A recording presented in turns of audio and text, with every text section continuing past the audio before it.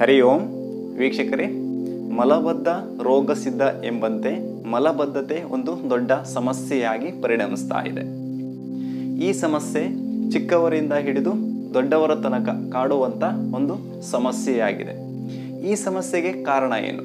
ಈ ಸಮಸ್ಯೆಗೆ ಕಾರಣ ಏನು ಅಂತ ಅಂದರೆ, ನಾವು ತೆಗೆದುಕೊಳ್ಳುವಂಥ ಆಹಾರದಲ್ಲಿ ನಾರಿನಂಶ ಕಡಿಮೆ ಇರುವಂಥದ್ದು ಕಡಿಮೆ ಪ್ರಮಾಣದಲ್ಲಿ ನೀರನ್ನು ಸೇವಿಸುವಂಥದ್ದು ಅನಾರೋಗ್ಯಕರ ಜೀವನ ಶೈಲಿ, ದೈಹಿಕ ವ್ಯಾಯಾಮ ಇಲ್ಲದೆ ಇರುವಂಥದ್ದು, ಹಾಗೆ ಹೊರಗಡೆ ಸಿಗುವಂಥ ಜಂಕ್ ಫುಡ್ಡನ್ನು ನಾವು ಹೆಚ್ಚಿನ ಪ್ರಮಾಣದಲ್ಲಿ ತೆಗೆದುಕೊಳ್ಳುವುದರಿಂದ ಮಲಬದ್ಧತೆ ಸಮಸ್ಯೆ ಕಾಣಿಸ್ಕೊಳ್ತಾ ಇದೆ. ಹಾಗಾದರೆ ಈ ಮಲಬದ್ಧತೆ ಸಮಸ್ಯೆಯನ್ನು ಕಡಿಮೆ ಮಾಡಿಕೊಳ್ಳಿಕ್ಕೆ ಸಾಧ್ಯ ಇಲ್ವಾ? ವೀಕ್ಷಕರೇ, ಇವತ್ತಿನ ಈ ವಿಡಿಯೋದಲ್ಲಿ ನಾನು ಈ ಮಲಬದ್ಧತೆ ಸಮಸ್ಯೆ ನಿವಾರಣೆಗೆ ಐದು ಆಸನವನ್ನು ಹೇಳ್ತಾ ಇದ್ದೀನಿ. ಈ ಐದು ಆಸನವನ್ನು ನೀವು ದಿನನಿತ್ಯ ಜೀವನದಲ್ಲಿ ಅಳವಡಿಸಿಕೊಳ್ಳುವುದರಿಂದ ನಿಮಗಿರುವಂಥ ಮಲಬದ್ಧತೆ ಸಮಸ್ಯೆಯನ್ನು ನಿವಾರಣೆ ಮಾಡಿಕೊಳ್ಬೋದು ಹಾಗಾದರೆ ಆ ಐದು ಆಸನ ಯಾವುದು?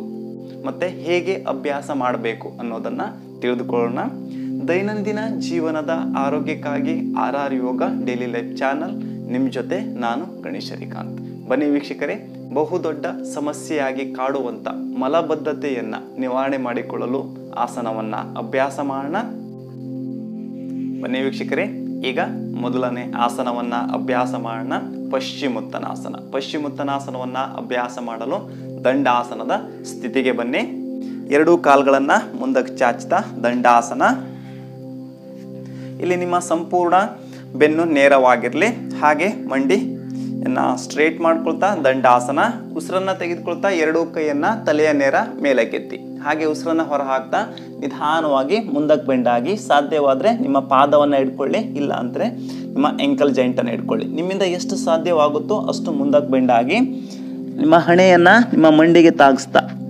ಸಾಧ್ಯವಾದಷ್ಟು ಹೊತ್ತು ಈ ಸ್ಥಿತಿಯಲ್ಲಿ ಸಹಜವಾಗಿ ಉಸಿರಾಟವನ್ನು ಮಾಡಿ ಹೋಲ್ಡ್ ಮಾಡಿ, ಸಂಪೂರ್ಣ ನಿಮ್ಮ ಹೊಟ್ಟೆ ಮತ್ತು ಬೆನ್ನಿನ ಭಾಗದಲ್ಲಿ ಆಗುವಂಥ ಸೆಳೆತವನ್ನು ಗಮನಿಸಿ. ಟೆನ್ ಸೆಕೆಂಡ್ಸ್ ಅಥವಾ ಫಿಫ್ಟೀನ್ ಸೆಕೆಂಡ್ಸ್ ಆದ ನಂತರ ಮತ್ತೆ ಎರಡೂ ಕೈಯನ್ನು ನೇರ ಮಾಡಿ ಹಾಗೆ ಉಸಿರನ್ನು ತೆಗೆದುಕೊಳ್ತಾ ಮೇಲಕ್ಕೆ ಬಂದು ಎರಡೂ ಕೈಯನ್ನು ಕೆಳಗಡೆ ಇಳಿಸ್ತಾ ರಿಲ್ಯಾಕ್ಸ್ ಮಾಡಿ. ಇದು ಮೊದಲನೇ ಆಸನ. ಈಗ ಎರಡನೇ ಆಸನವನ್ನು ಅಭ್ಯಾಸ ಮಾಡೋಣ. ಎರಡನೇ ಆಸನ ಬದ್ಧ ಪದ್ಮಾಸನ. ಬದ್ಧ ಪದ್ಮಾಸನವನ್ನು ಅಭ್ಯಾಸ ಮಾಡಲು ಈಗ ನಿಧಾನವಾಗಿ ಎರಡು ಕಾಲುಗಳನ್ನು ಮಡಚಿಕೊಳ್ತಾ ಪದ್ಮಾಸನದ ಸ್ಥಿತಿಗೆ ಬನ್ನಿ. ಪದ್ಮಾಸನ.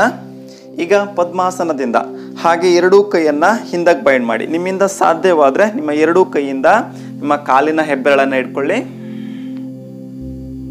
ಹಾಗೆ ಆಳವಾಗಿ ಉಸಿರನ್ನು ತೆಗೆದುಕೊಳ್ಳಿ.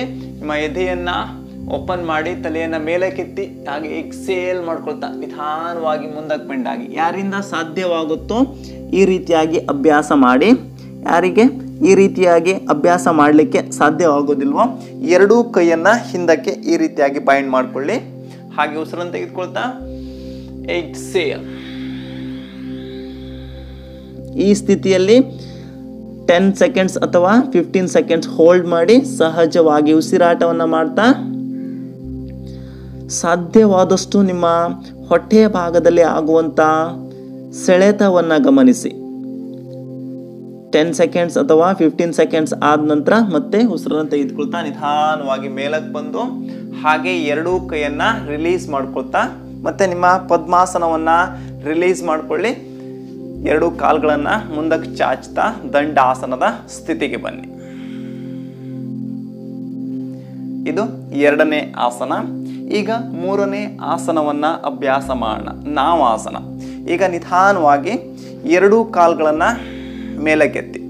ಹಾಗೆ ಎರಡೂ ಕಾಲುಗಳನ್ನು ಮೇಲಕ್ಕೆತ್ತ ನಿಮ್ಮ ಸೊಂಟದ ಮೇಲ್ಭಾಗವನ್ನು ಸ್ವಲ್ಪ ಹಿಂದಕ್ಕೆ ತೆಗೆದುಕೊಂಡು ಹೋಗಿ, ಈಗ ಎರಡೂ ಕೈಯನ್ನು ಭುಜದ ಅಂತರಕ್ಕೆ ಮೇಲೆತ್ತಿ, ನಿಮ್ಮ ಎರಡೂ ಕಾಲಿನ ಹೆಬ್ಬೆರಳನ್ನು ನೋಡ್ತಾ ಸಹಜವಾಗಿ ಉಸಿರಾಟವನ್ನು ಮಾಡಿ. ಇಲ್ಲೂ ಕೂಡ ten to fifteen seconds hold ಮಾಡಿ. Ten to fifteen seconds hold ಆದ ನಂತರ ನಿಧಾನವಾಗಿ ಎರಡೂ ಕಾಲನ್ನು ಕೆಳಗಡೆ ಇಳಿಸ್ತಾ ಮತ್ತೆ ದಂಡ ಆಸನದ ಸ್ಥಿತಿಗೆ ಬನ್ನಿ. ಇದು ಮೂರನೇ ಆಸನ.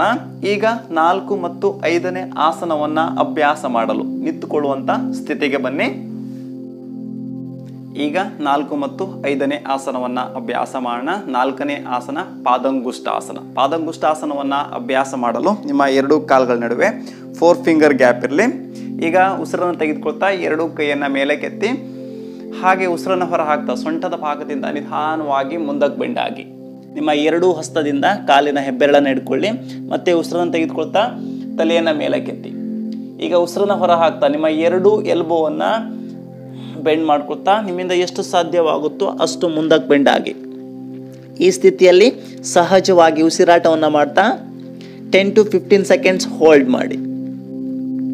ಸಾಧ್ಯವಾದಷ್ಟು ನಿಮ್ಮ ಸಂಪೂರ್ಣ ಗಮನ ನಿಮ್ಮ ದೇಹದ ಮೇಲೆ ಆಗುವಂಥ ಬದಲಾವಣೆ ಮೇಲಿರಲಿ. Ten to fifteen seconds hold ಆದ ನಂತರ ಈಗ ಮತ್ತೆ ಉಸಿರನ್ನು ತೆಗೆದುಕೊಳ್ಳಿ. ತಲೆಯನ್ನು ಮೇಲಕ್ಕೆತ್ತಿ ಹಾಗೆ ಎಕ್ಸೇಲ್ ಮಾಡಿ. ಇನ್ನೊಮ್ಮೆ ಆಳವಾಗಿ ಉಸಿರನ್ನು ತೆಗೆದುಕೊಳ್ತಾ ಎರಡೂ ಕೈಯನ್ನು ನಿಧಾನವಾಗಿ ನೇರ ಮಾಡಿ ಹಾಗೆ ಮೇಲಕ್ಕೆ ಬಂದು ಎರಡೂ ಕೈಯನ್ನು ಕೆಳಗಡೆ ಇಳಿಸಿ. ಈಗ ಐದನೇ ಆಸನ, ಅರ್ಧ ಬದ್ಧ ಪದ್ಮೋತ್ತನಾಸನ ಅರ್ಧ ಬದ್ಧ ಪದ್ಮೋತ್ತನಾಸನ ಅಭ್ಯಾಸ ಮಾಡಲು ಬಲ ಮಂಡಿಯನ್ನು ಮಡಚ್ಕೊಳ್ತಾ, ಬಲ ಎಡತೊಡೆ ಎಡ ತೊಡೆ ಮೇಲೆ ಇಟ್ಕೊಳ್ಳಿ ಹಾಗೆ ಬಲಗೈಯನ್ನು ನಿಮ್ಮ ಬೆನ್ನಿನ ಹಿಂಬದಿಯಿಂದ ಬೈಂಡ್ ಮಾಡ್ಕೊಳ್ತಾ ಬಲ ಹಸ್ತದಿಂದ ಬಲಗಾಲಿನ ಹೆಬ್ಬೆರಳನ್ನು ಇಟ್ಕೊಳ್ಳಿ ಆಳವಾಗಿ ಉಸಿರನ್ನು ತೆಗೆದುಕೊಳ್ಳಿ. ಎಕ್ಸೇಲ್ ಮಾಡ್ಕೊಳ್ತಾ ನಿಧಾನವಾಗಿ ಮುಂದಕ್ಕೆ ಬೆಂಡಾಗಿ ಎಡಹಸ್ತವನ್ನು ಎಡಗಾಲಿನ ಬದಿಗಿರಿಸಿ. ನಿಮ್ಮಿಂದ ಎಷ್ಟು ಸಾಧ್ಯವಾಗುತ್ತೋ ಅಷ್ಟು ಮುಂದಕ್ಕೆ ಬೆಂಡಾಗಿ ನಿಮ್ಮ ಹಣೆಯನ್ನು ನಿಮ್ಮ ಮಂಡಿಗೆ ತಾಗಿಸಲು ಪ್ರಯತ್ನಿಸಿ. ಈ ಸ್ಥಿತಿಯಲ್ಲಿ ten to fifteen seconds hold ಮಾಡಿ ನಿಮ್ಮ ಉಸಿರಾಟ ಸಾಧ್ಯವಾದಷ್ಟು ಸಹಜವಾಗಿರಲಿ. ಟೆನ್ ಟು ಫಿಫ್ಟೀನ್ ಸೆಕೆಂಡ್ಸ್ ಆದ ನಂತರ ಮತ್ತೆ ಉಸಿರನ್ನು ತೆಗೆದುಕೊಳ್ತಾ ನಿಧಾನವಾಗಿ ಮೇಲಕ್ಕೆ ಬಂದು ಹಾಗೆ ಎಕ್ಸೇಲ್ ಮಾಡ್ಕೊಳ್ತಾ ಕೈಯನ್ನು ರಿಲೀಸ್ ಮಾಡ್ಕೊಳ್ಳಿ, ಕಾಲನ್ನು ನಿಧಾನವಾಗಿ ಕೆಳಗಡೆ ಇಳಿಸಿ. ಈ ರೀತಿಯಾಗಿ ಇನ್ನೊಂದು ಬದಿಗೆ ಅಭ್ಯಾಸ ಮಾಡಿ. ಈ ಆಸನವನ್ನು ಯಾರು ರೆಗ್ಯುಲರ್ ಆಗಿ ಅಭ್ಯಾಸ ಮಾಡ್ತಿರೋ, ಅವರು ಅಭ್ಯಾಸ ಮಾಡಿ.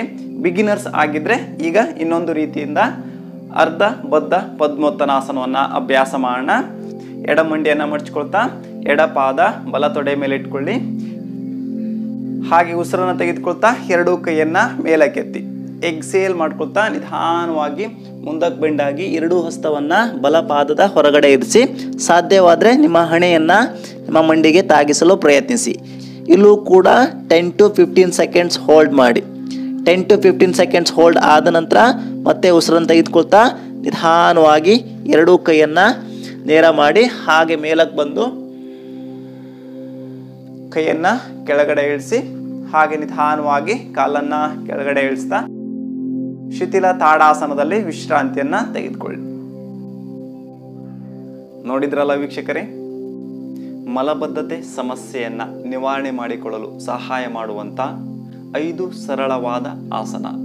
ಈ ಐದು ಸರಳವಾದ ಆಸನವನ್ನು ನಿಮ್ಮ ದಿನನಿತ್ಯ ಜೀವನದಲ್ಲಿ ಅಳವಡಿಸ್ಕೊಳ್ತಾ, ಹಾಗೆ ನಿಮ್ಮ ಜೀವನ ಶೈಲಿಯಲ್ಲಿ ಬದಲಾವಣೆಯನ್ನು ಮಾಡ್ಕೊಳ್ತಾ, ಈ ಮಲಬದ್ಧತೆ ಸಮಸ್ಯೆಯನ್ನು ನಿವಾರಣೆ ಮಾಡಿಕೊಳ್ಳಿ ಅಂತ ಹೇಳ್ತಾ ಇವತ್ತಿನ ಈ ವಿಡಿಯೋವನ್ನು ಮುಗಿಸ್ತಾ ಇದ್ದೀನಿ. ಈ ವಿಡಿಯೋ ನಿಮಗೆ ಇಷ್ಟ ಆಗಿದ್ದರೆ ಲೈಕ್ ಮಾಡಿ, ಶೇರ್ ಮಾಡಿ, ಮತ್ತು ನನ್ನ ಚಾನಲ್ನ ಹೊಸಬ್ರು ನೋಡ್ತಾ ಇದ್ದರೆ ಸಬ್ಸ್ಕ್ರೈಬ್ ಮಾಡಿಕೊಳ್ಳಿ. ಹರಿ ಓಂ.